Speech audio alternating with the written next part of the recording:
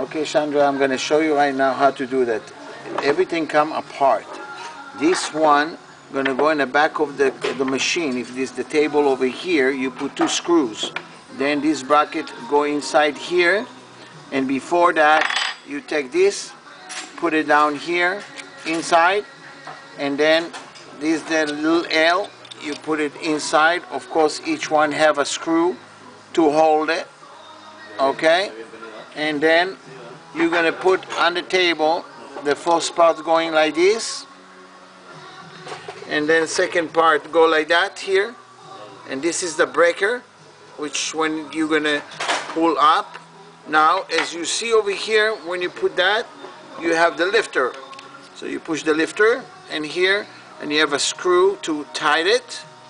And the breaker and this is the last piece to put on your machine. And it's going underneath the table which it will be this way but all the way inside. Okay as you see that. Okay? Give me if you have more question give me a call and I will explain to you